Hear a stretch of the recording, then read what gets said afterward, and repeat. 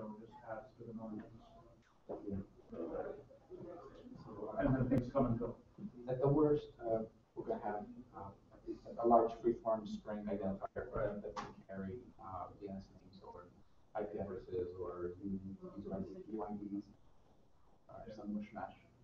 I mean, yeah, especially because as systems come and go, you may have data for a system and then the system no longer exists. For example, the IP addresses that get recycled for short. Um, so, uh, you're quite right, Will. This machine identification issue will come up more, uh, whatever system that deploys those virtual machines for us will have to provide identifiers which don't have to propagate. So, um, that will be some little compatibility issue kind of. Because I'm looking at the same problem on the Kerberos side where Kerberos and things for depending on offline, actual targets is principal keys and, and the system only lives for a couple hours. Having a Kerberos principal is like. Yeah. Um, so I think this is where we're, the issue, we haven't, uh, worked out all the, uh, management, uh, sides of it, but respect issue. Is it on intention to lose information at this point, and we'll get it better Right. quality over time.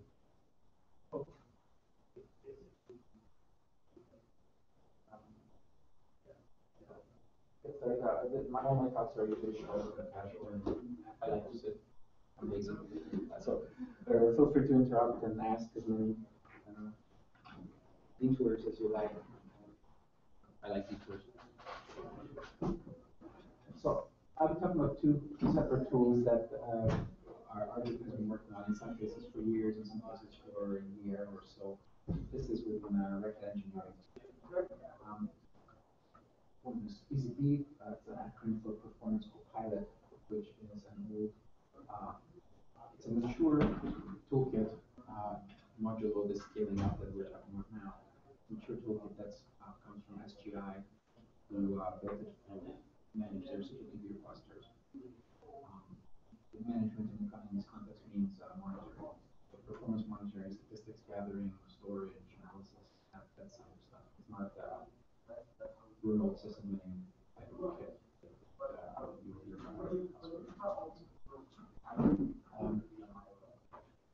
uh, to introduce a little bit. The thing with SystemTap is that even though people are familiar with it to some extent, some of the kinds of uses that can put to it just doesn't cover that.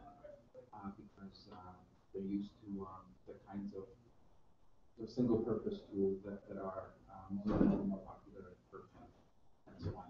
Um, we have built in a degree of generality, which gives it a whole other degrees of, of usefulness that, that people might just not be aware of. So I wanted to focus this talk on just one example of that. So not so much an introduction to a system that has, um, bringing to people's attention a different, uh, usage that, that might not have considered before. Welcome, welcome.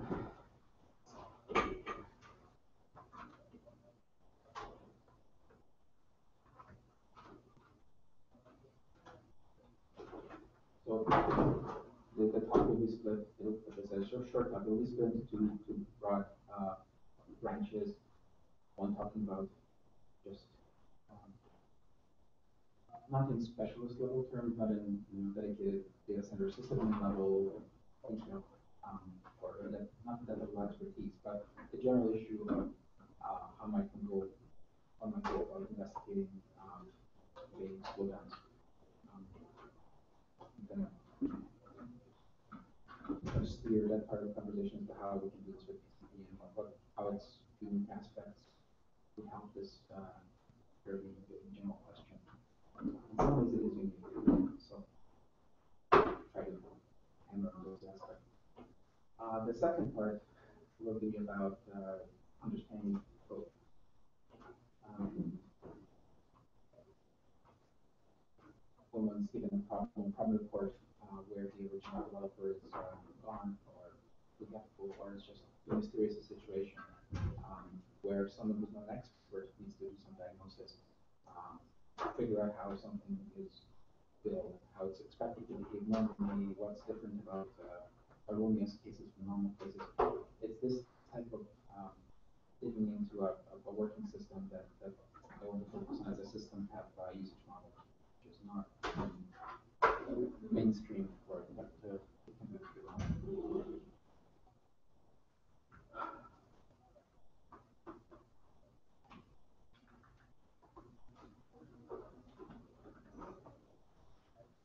We're gonna probably have an apple pie stuff on here. Often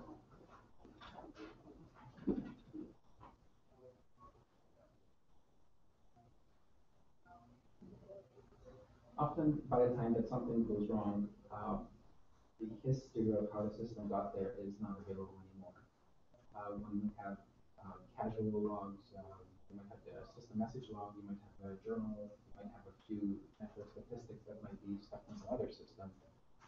But in pretty much none of the systems I'm familiar with, and I'm not claiming to be very super broadly exposed or anything, but in those systems is there much of a comprehensive view of a large number of, of system parameters, statistics that you can have keep in a coherent history, everything timestamped, everything uh, tracked to its point of origin.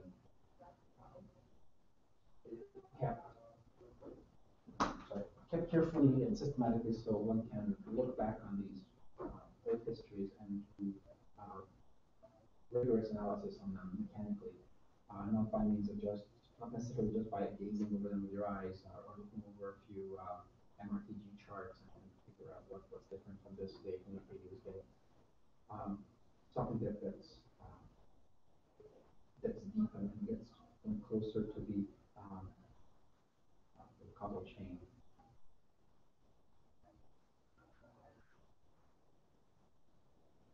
This to work, often we keep track of not just one machine's workload, but multiple machines, where uh, the machines might be quite dissimilar. It might be, um, in cases, not all uh, Linux machines, not all Red Hat machines. Uh, there might be Windows boxes in between there. Um, uh, routers, a whole, whole collection of different types of, uh, of hardware and software that uh, that all together was responsible for whatever problems we're trying to analyze. So, um, just to motivate again a case of comprehensive visibility where it's not just uh, a single SNMP, uh, a bunch of IDs that we're holding and storing, but uh, potentially tens, hundreds of parameters uh, of different operating systems that have collected together, collected individually, so that um, we get, we get a comprehensive view of what has happened. Um, so I keep using comprehensive, but I'll look through more details to what, what kind of means, but uh, not just um, the current NetStats numbers, uh, the current error count, but something that you can uh, look at a month or a year later that's still fully dimensioned, still fully documented, um, everything carrying metadata, timestamps, um, that sort of stuff. And of course, once the data one Python, uh, Python graphics from it, uh, it's recorded. So, um,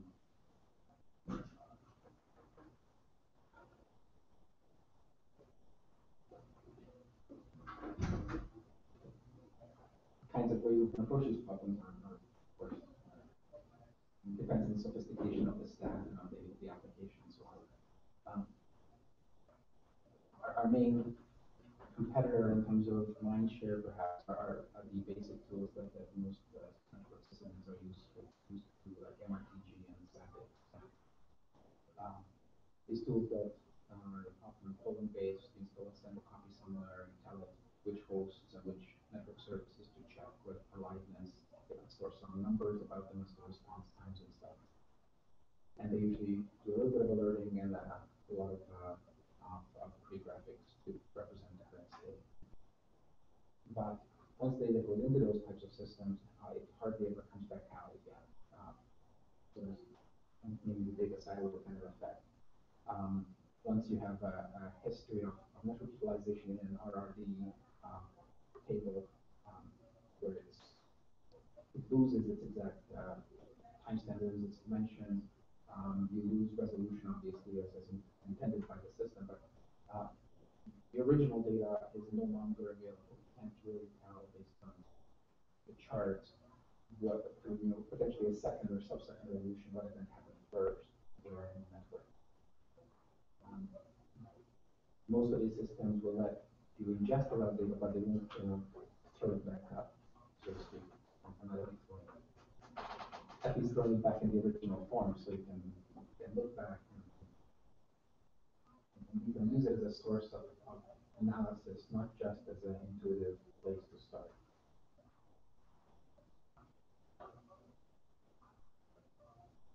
Let's see, and you can be able to for it. Widget.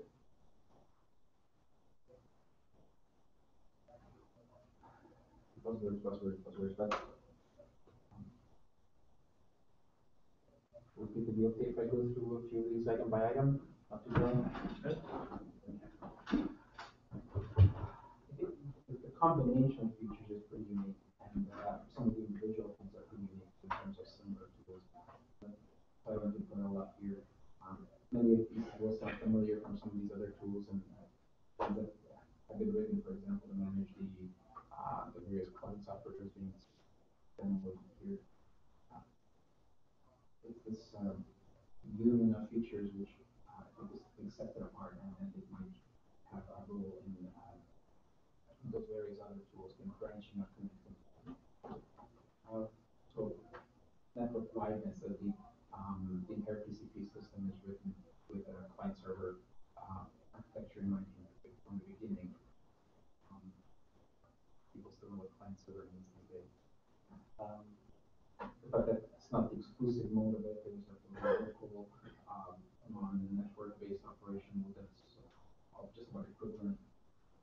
Uh, the network protocols are, um, open documented, um, they have been fixed more or less in stone for a decade or two, a decade and a half, so it's not like the protocol itself is, uh, is something fluid. Uh, and security recently added the proper SSL and authentication, and all those kinds of, um, modern requirements. In the old days, they didn't need that because they weren't running stuff on the, uh, private computing cluster networks. They didn't care you could, uh, edit the data. Now we care, so we added this.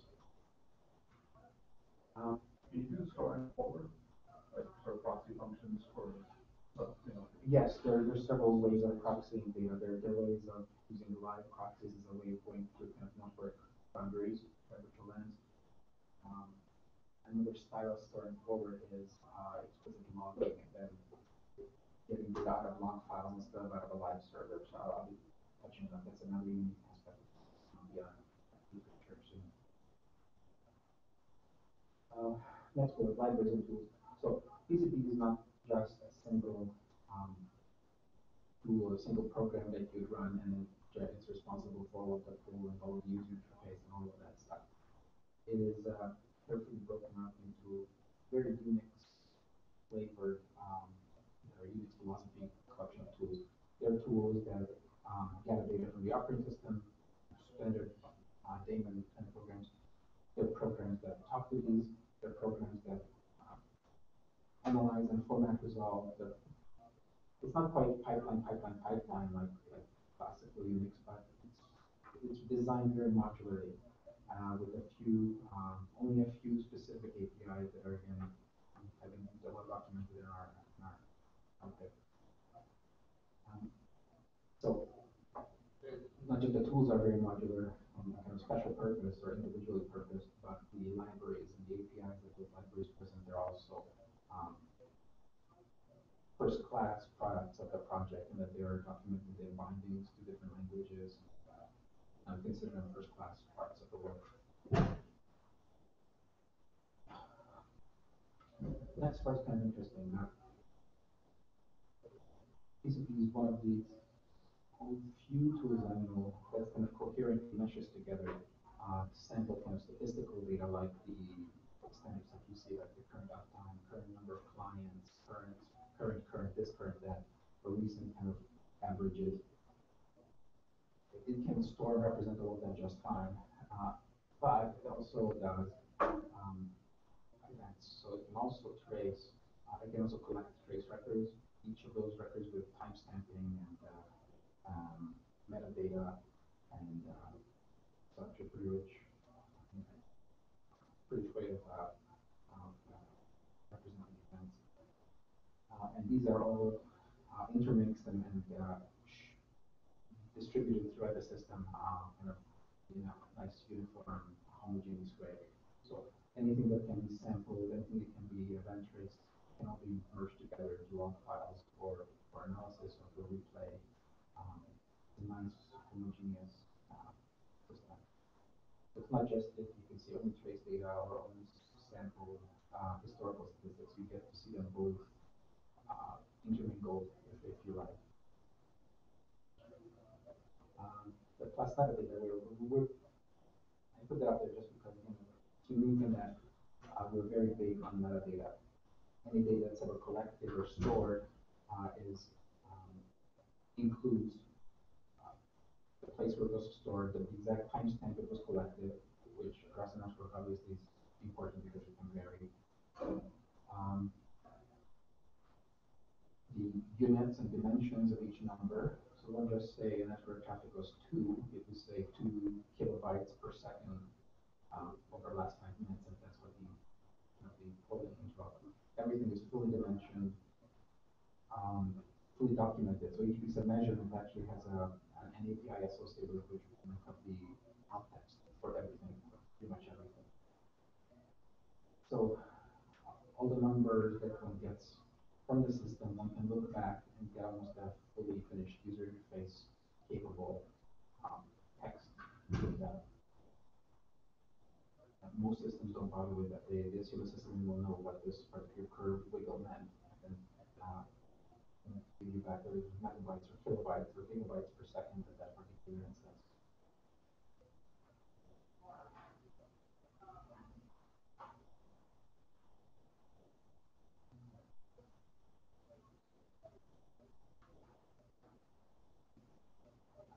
won't go quite through all of it, it's gonna be just so for you folks.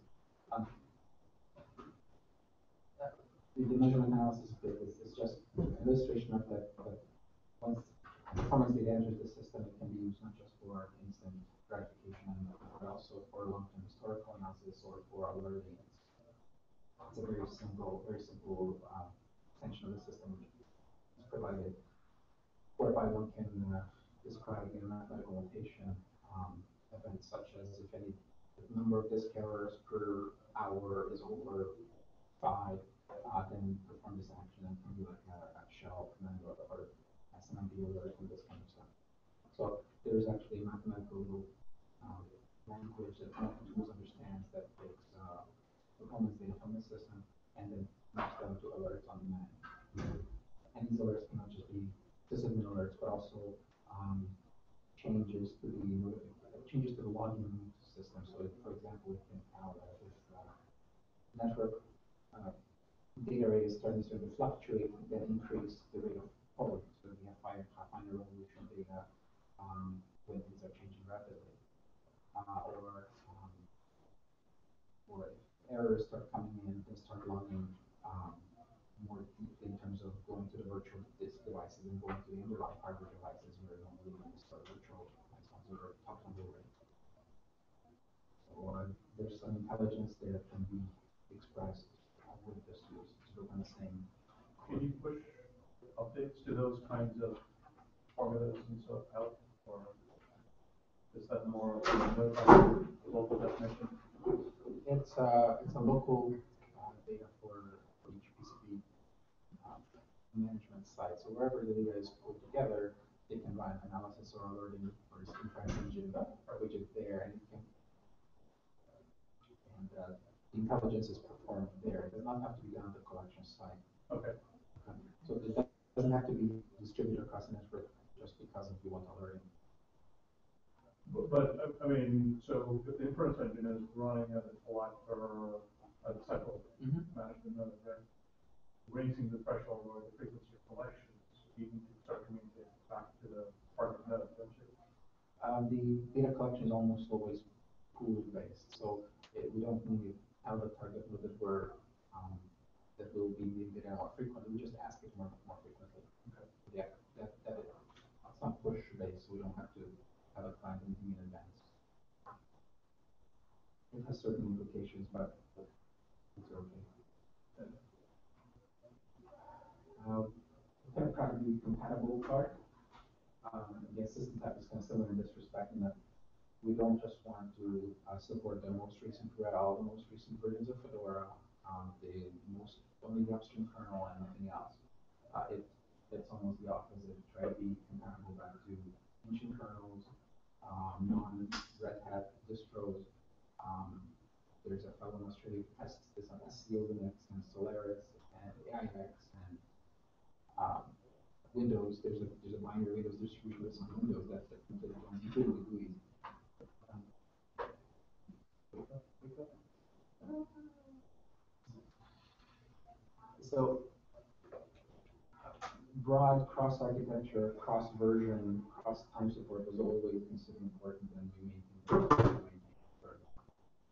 Um, have you talked to any of the work guys about, you know, for example, on Windows, whether,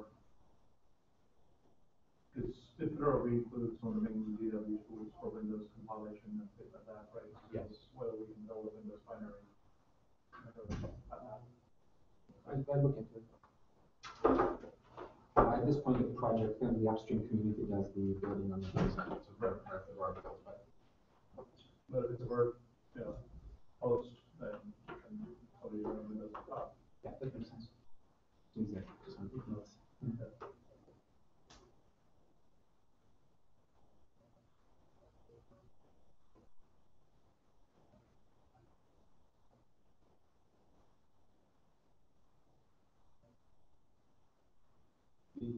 want to take notes. The other question, I guess, was, um, if we're deploying a system, right, so either building an image or creating a like that, can we sort of pre-configure a PCP installation as part of the deployment with any configuration items and things like that, that are managed? Uh, it turns out that the, uh, okay. Let's answer this story, which we don't have a, a very complete one, but nice thing is so much that the actual, um, end node, the place where data is collected, really hardly any configuration at all, because it's, the system is kind of pool-based. So as long as basic TCP firewalling allows incoming connections from the management side, um, there's really just like no configuration that's actually necessary. Uh, so that's for a standard model where the management side knows ahead of time where the nodes are going to be. Uh, we're also, um, have started building, we're about to start building a version of this whereby the collector nodes listen to the Avahi notifications or other such, uh, cloud notifications where clients are coming, where the nodes are coming online, and we automatically hatch them at those moments. So we have pre-configured even at the central side. Um, so I know the OpenLMI guys are also looking at something in the, a lot of the Open SL, range. Yes. Stuff. Yeah, they, they- for some reason, it's open us up. They think they won. Um, okay, so there's there's probably some coordination there. It- Yeah, um, I'm sure what will be just as, um, omnivorous as we are with vector architectures, we'll, we'll try to have as many of these notification type systems in as possible. So, Because, and then the, the other thing around cloud images is that there's this whole cloud image, um, system that, you know, if you have a golden image that boots up and then talks to cloud init and downloads its own configuration, um, then it might be that we want some hooks into the cloud image subsystem that says, um, your management collector node has this IP address, so, you know, configure your incoming firewall rules least for firewall, yeah. to be just that node, not the whole world. Yeah. Those kind of things.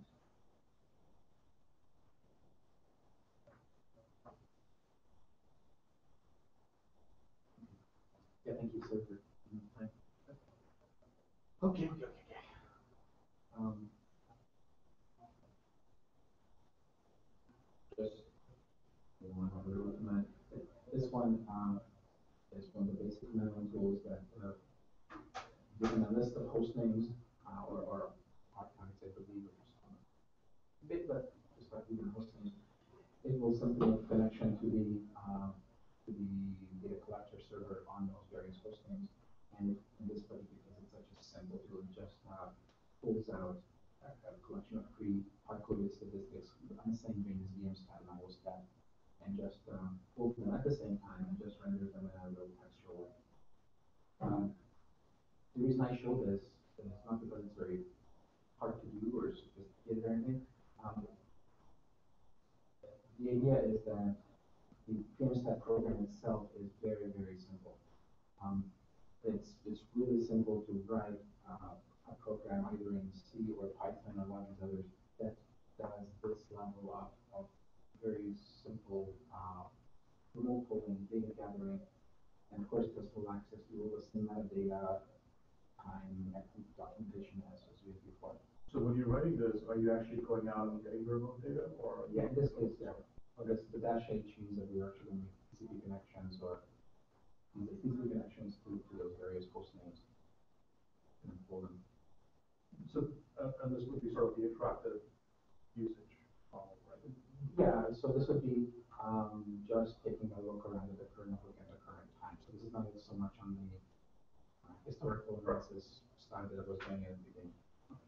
Just want to show that, um, once data collector side is running, um, it doesn't require special system, um, you know, training to, to just have a quick overview, kind of like this. A few more commands. Uh, the first one just summarizes the current, uh, node, data gathering nodes configuration, uh, including what kind of extra agents are available or installed to gather, um, extra application-specific, uh, statistics. So I have just a couple installed there, but there exists more. Uh, the second, the pminfo command is just listing, um, in that case, showing more of the metadata that, that belongs to to, it- to some random measurement there. So it's telling us that, the number, thirty-nine fifty-four number is not just a number, but it's actually megabytes. And it's a thirty-two bit some integer, so it's carried carefully across the network as such, it's never gonna be any some typecast wider or narrower, it's gonna be treated with respect. And there's a little bit of verbiage as to what the number actually was. In this case, we're not showing the timestamp, but it's also there. Um, Yeah, hi. Um, you have, a PM chart showing a QT GUI stuff. Yeah. Um, how much GUI is there as part of the current stuff? Um, that's what the GUI looks like there, um, from, from that. It's an interactive viewer of either live data, um, where, uh, kind of like the Windows performance monitoring tool, you can add and subtract, um, individual metrics This is all written on QT? right It's now? all Qt, and it runs on Windows, Yeah, yeah, yeah. Qt runs. Um, totally different thing, um, working with the desktop guys on getting multi-touch support on. Um, so, and there's an interesting video on YouTube around Qt multi-touch running on Windows actually. Okay. And, uh, so I'm thinking of, you know, if we have a touch display and show this graph, right, can I now Yeah. change the dimensions of the graphs and things like that, that becomes easy interactive. This part, the GUI is, is, uh, rudimentary, but, um, but yeah, going along those lines, might do. Yeah, 'cause, uh, I mean, we're trying to get the fundamentals of you know, GDK and Qt or multi-touch, so the apps can imperative, other than apps need to sort of make use of it. That's right. Okay, that's a good one. Um,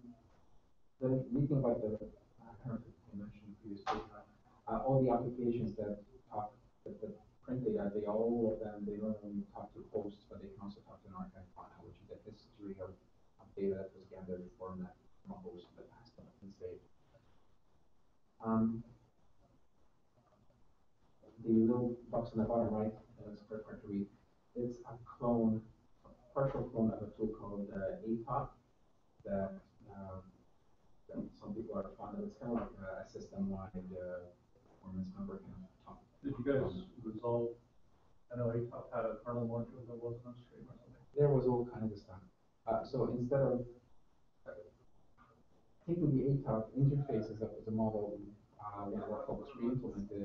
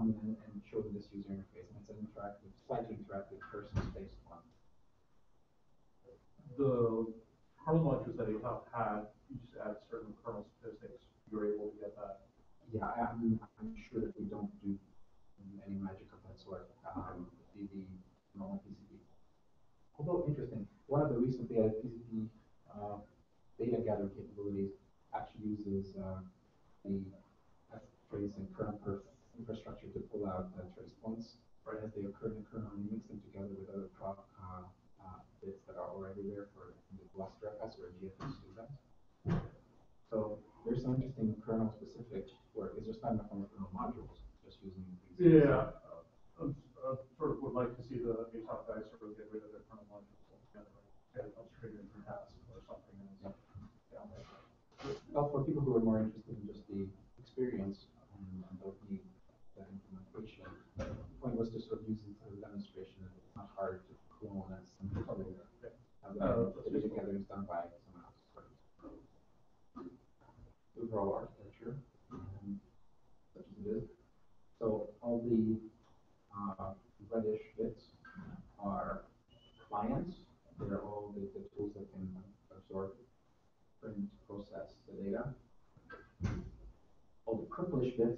are the data collectors, whether they be local or, or remote.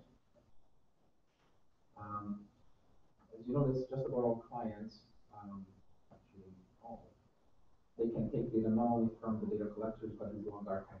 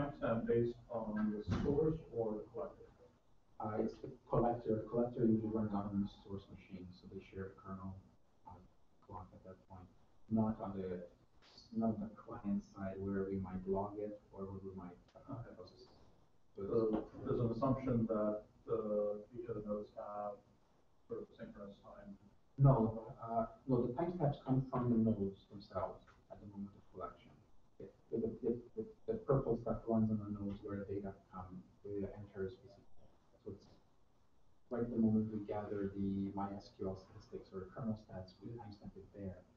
And that data plus the time zones, um, yeah, could send centrally. Right, but all I'm saying is that assumes that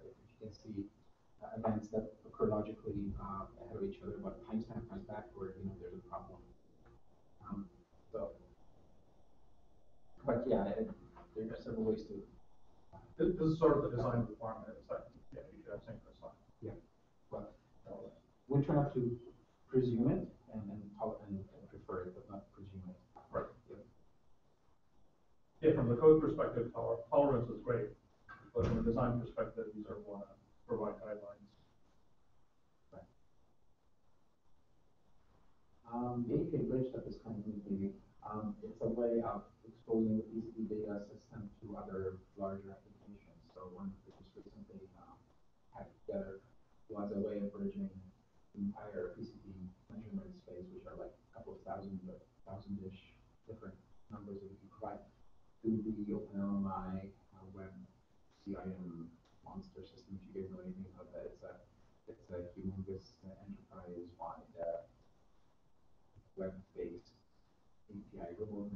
the icon. So it's, it's quite fascinating.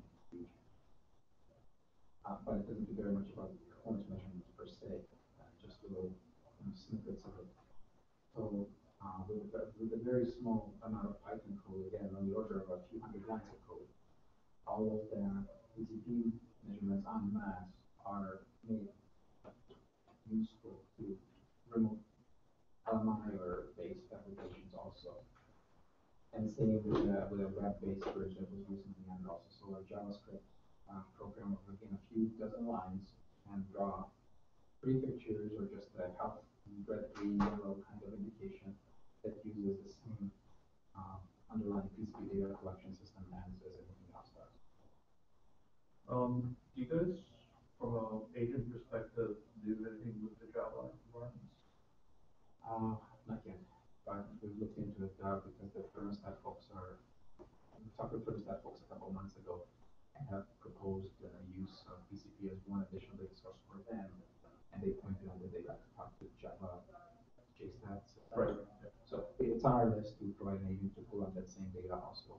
And then that just, it's, I think thermostat is probably one of those five percent of the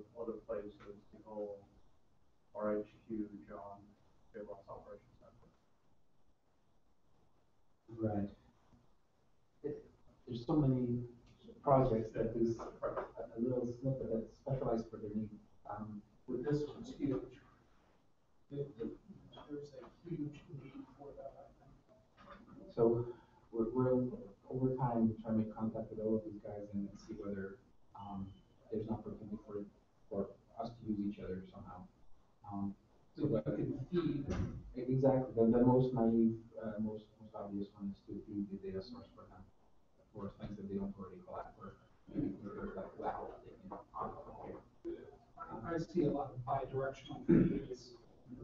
And, and, and we like that it's not just that the, the, the client's API is your public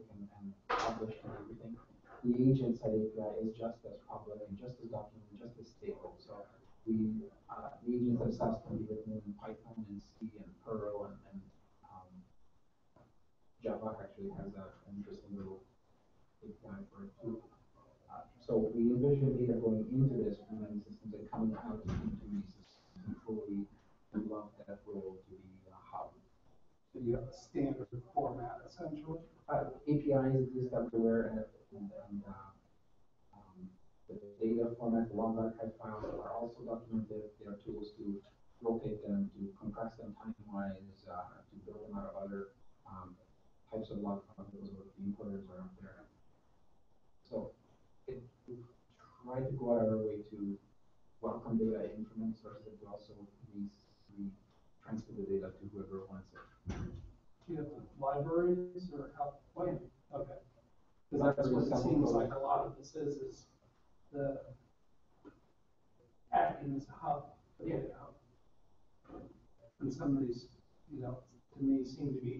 subprojects, essentially.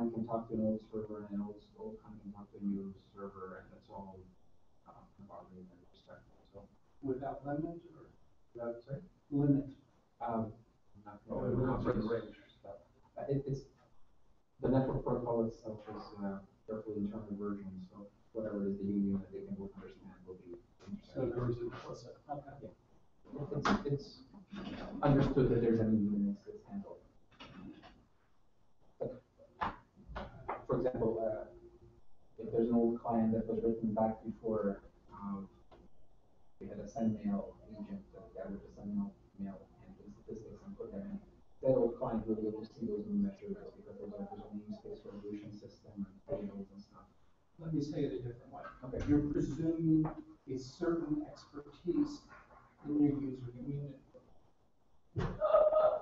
So That they would understand these type of issues. Whereas a casual user who wants to use this in addition to other things won't go that deep, and he says, look, I just need this problem solved, I don't wanna become an expert on it, I just wanna go here, figure it out, and move on. You, you see more of a businessy type of user, less of a sysadmin. Well, I mean, people like- it's more of a society tool, mean, at the end of the day, right? I can see all sorts of things on sites. Yes. I'm just saying that's, that's an assumption here, but. Right. Um, yeah, fair enough. I, I think for end user types of things, um, the, the, the angle we would pursue is that um, give- we try to make it easy to write small tools that an end user can, can draw. Like these will draw path indications, and tiny charts. Those kinds of things are so easy to write and then we include some that, that those could be intelligible to the first time users. Um, but we can make web graphs too. Um, What is a tool? Yeah, It's a, it's a tool building, uh,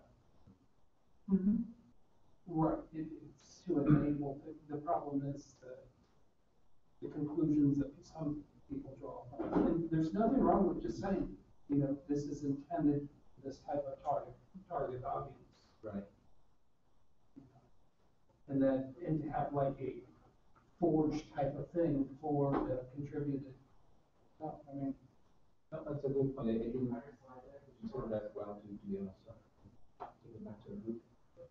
How is the upstream mean, question around the forage type stuff, is the upstream project just, you know, because it's got a of history, is that it's just a sort of a container for the project itself, or is there any development around it for allowing computer pieces?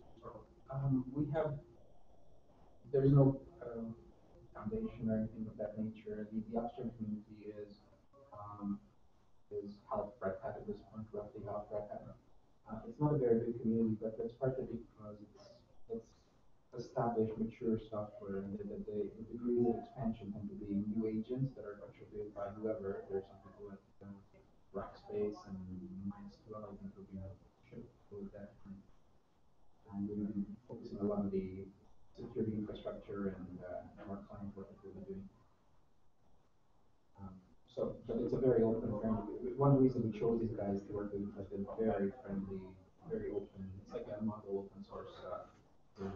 Yeah, I mean, I think the agents are probably one place where you want it to be really open and encourage other projects to sort of feed into, uh, the agent infrastructure. So having, you know, some contributor space of being able to put up agents before you bring it into the board distribution.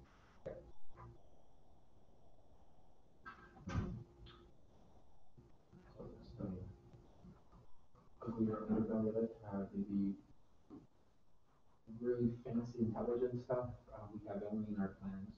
Building, as it says, and, uh, making sure the infrastructure is really robust, and well, the users are being performant and, and documented and open and stuff.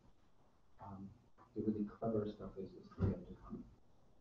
but once you do the base, that will come on with it. And, and our team does intend to do all this complexity stuff. We're basically just looking for uh, more user interest and what guide what we should. Um, we've been trying to uh, get into customer hands for, for some time. And it's been developed for a couple of releases now. Always been there for, for years.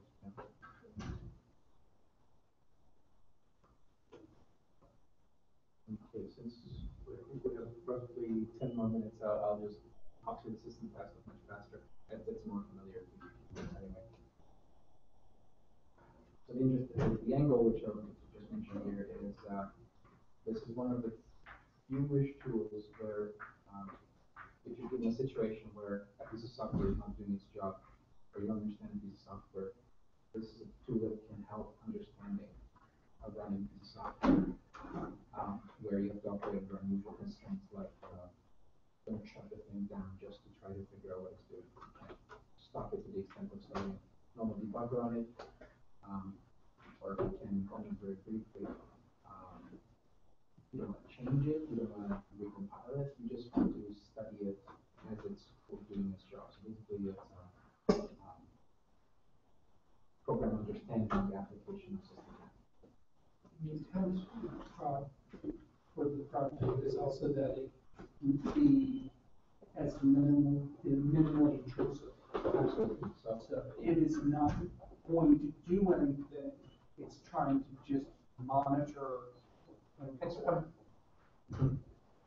um, yeah, so by default, it's, it's looking, not touching, um, and but it has the capabilities to touch and then to probe and to grab, or you can pull them out, it's just, very quickly. Or remote. Yeah, exactly.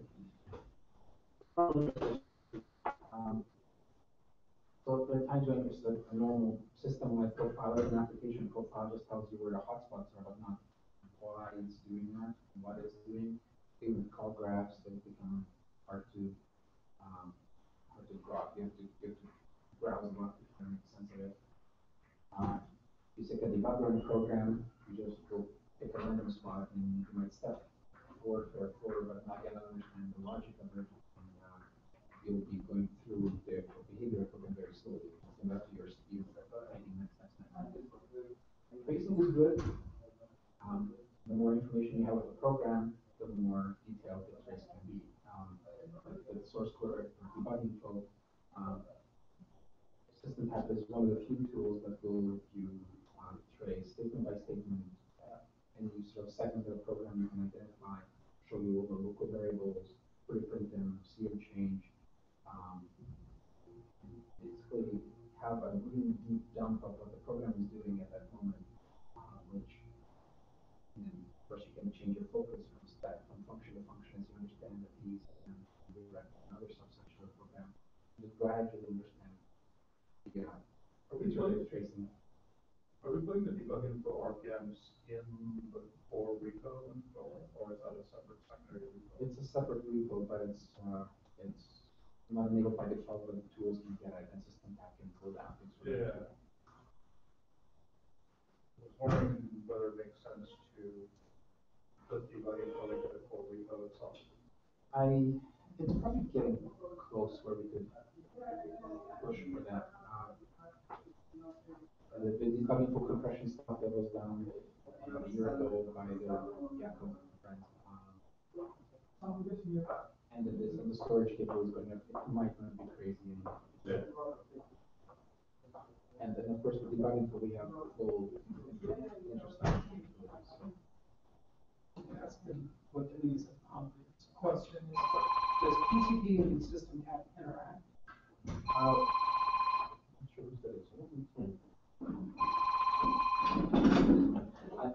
I'm sorry, I just need to check with this because my family's in town too.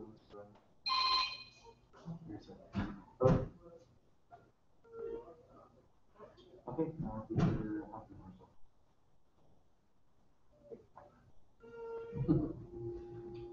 Very sorry, my family also traveled with me, so I, uh, everything is fine.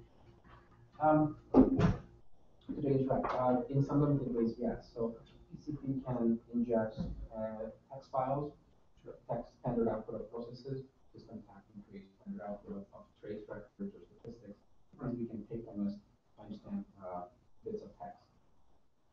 Um, so that's a very neat use. Uh, we're, uh, going to investigate much more thorough ways of using SystemTap and PCP that is to generate those same kind of deeper metadata latent statistics that, um, that are available. So of course, sort of like what, uh, you said, ATOP, uh, has its kernel module support. Um, we are envisioning SystemTap being a source of analogous kind of data for really deep inside kernel or, or inside user space stats, which then PCP can pull and, and connect with. So, I think that domain-specific knowledge thing is a real strength of PCP, especially for performance tuning. and, and system that could be a way of encoding the domain specific knowledge. Exactly. So, Yeah, that's it. I'm trying to decouple the things. yeah, Because they, like in four forty-two, the intro to this stuff, but it's a very high level. It it would be really cool to have this, you know, available and more accessible. um, so this is all, for people who know the tool at all, this all be. Did you see the Google paper on the CPU tracing for what they're doing in their infrastructure? I am not aware of a recent paper, I, I, from, there were Google tracing papers about, four or five years ago. Uh, This was this year, um, I'll send you a copy, um, it wasn't so much about the tracing infrastructure as opposed to the fact that they're looking at if a process takes more than an X amount of time to complete a function. Um, rather than spending time to trace what's going wrong, they just cut the process. out of the service. It's like an overheat essentially. Yeah, That's, that's the watchdog, um, that's just, that was their safety mechanism to sort of keep things up and running. Could you Um, send me a copy to? Yeah, sure. T. Carlin and Red Hat. T. Carlin? Or T H R, either one.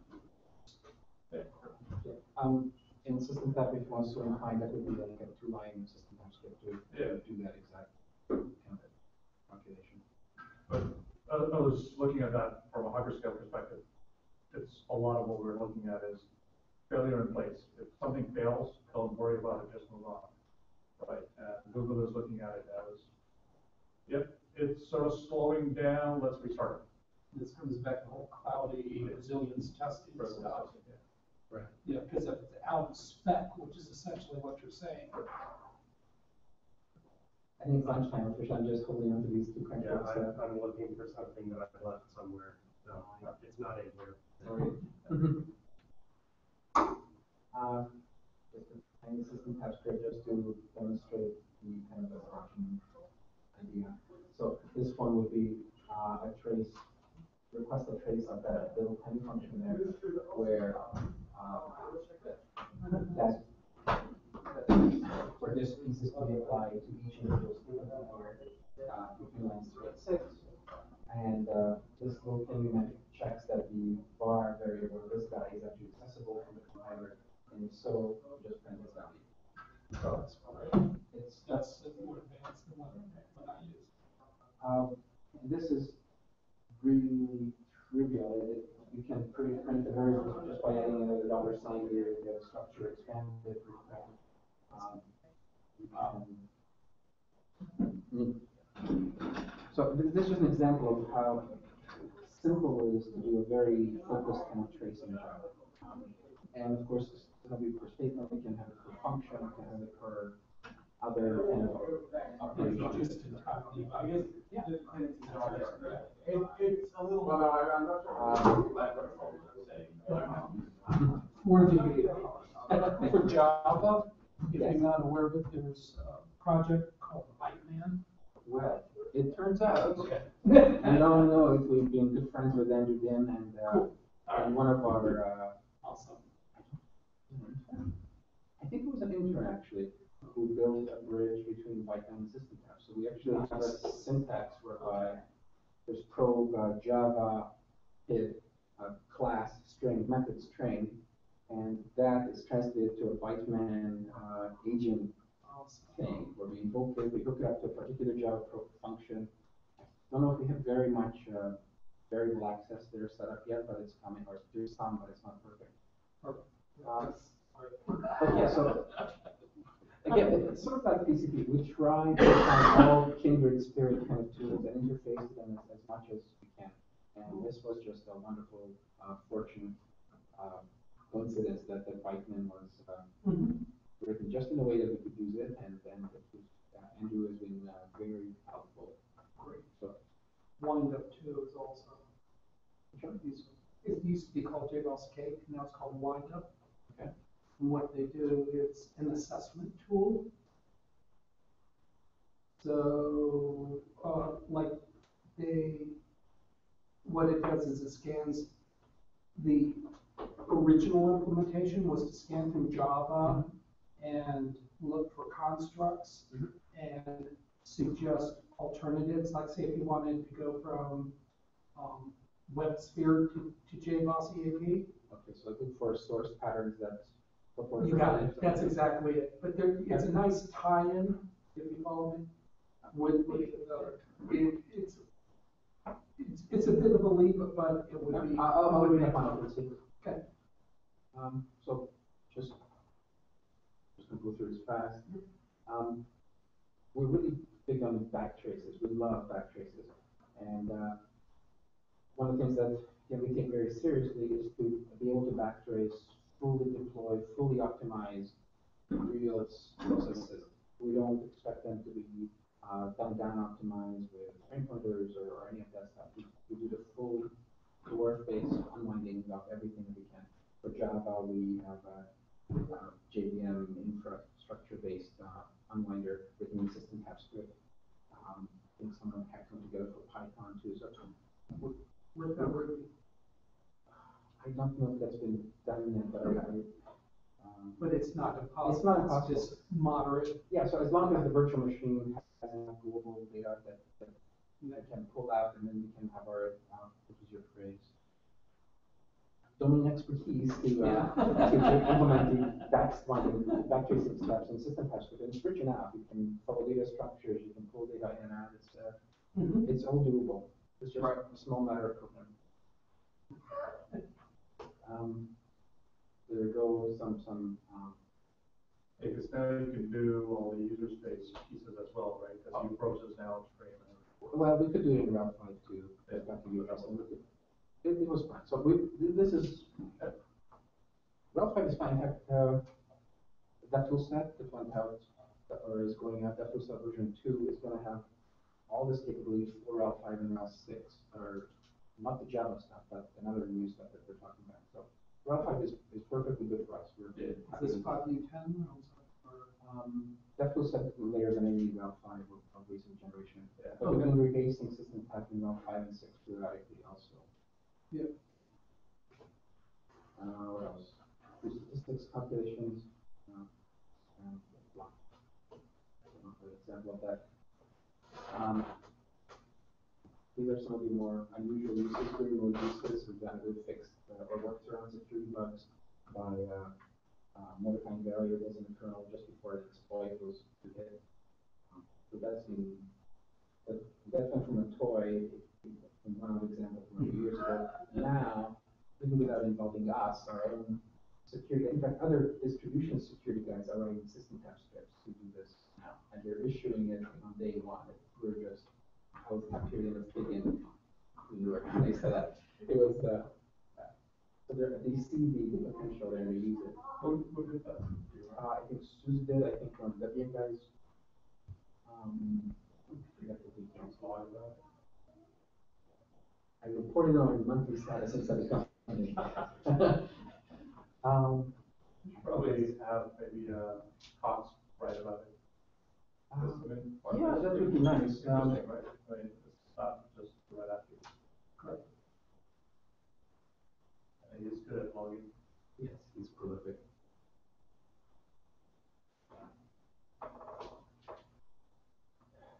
Okay, blah, blah, blah. The Java method stuff is that, that, that Byteman based, uh, work that you're talking about.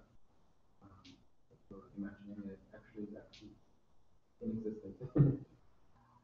And what about the dtrace? The, didn't somebody do a dtrace port to some version of Linux? Oracle. Yeah, there are two of them. Oracle Well, has a, a train, it's just an Oracle. Oracle has a joke when it's, it's amazing how little of trace is implemented there and they call it trace. It's just Yeah. funny. I had quotes around the port. And There's another fan in, in the UK who's done a private one, which, um, is based on different code bases, totally forked, and it's a little more full featured, but they're all just, you know, shadows of, of functionality or, or stability is, Right. which is kind of sad. Mhm. But we're keeping track of the other similar project, there's a Kate testing, you know, on ML that's more recent, someone wants to put a Bytecode interpreter to the kernel. If they take it, we'll use it. My guess is they won't take it, but if they take it, we'll use it. We want, we want to reach out, uh, so. Um. else? So neat stuff, other neat stuff is you, uh, is there's Dyninst based, uh, backend, so traditionally this works by kernel modules. The modern stuff, uh, has an alternative where, uh, the Dyninst package is used to, uh, to instrument user space. So Dyninst is, you know, any idea what it is? Uh, Vaguely, I read some, but Okay, so Dyninst is a library for doing live binary notification. Okay. Programs. So there's an API for uh, attaching to running processes or to dormant, or to dead out files, add like binary reverse engineer all the control flow, all the data, sometimes with debugging what, sometimes without debugging for what, and then insert the code in there. Mhm. And it does it all purely in user space, no privilege required, no root, nothing. So Mhm. just based on like debugger level privilege. Mhm. And the thing runs like a bat out of hell when it, when it gets started, because it's optimized, it inserts actual instrumentation instructions right into the binary, so it's just literally almost no function calls even. It just rewrites the processing in place. Uh, Yeah. so it's incredible, uh, what this thing does. Um, and, This uh, is the one where it patches out? it, yeah, it it Okay, patches, it puts patches okay, right into the binaries. Yep. Uh, so one of our developers spent a year and a bit, um, teaching SystemTap how to generate code for this. So we- Mhm. we generate code for this API, with, and that code live inserts the same probe handler syntax as is normal. Um, so there's some restrictions that we have to enforce, but, um, but the user experience is almost identical. It's pure user space, no root, anything. That was quite, quite cool. Um, guess what, this is the final slide finally. Watch it. I'm even sort of on time. Um, I'd like to hear more from either of you. Uh, I, I really appreciate your time. Um, and, uh, we try to be open and, uh, available for help and advice and all that good stuff. Hopefully we'll get this out next year. Uh, which is, Huh? It's a be- is it, yes, hopefully we'll finally plug it into RHEL. for six. I love it in RHEL everything. It we build it on, on RHEL five and it's, it's all ready. It just needs uh management buy-in. Well, it should be on the docket for social collection update. Or how did you hear? For which? Social collection, one, uh,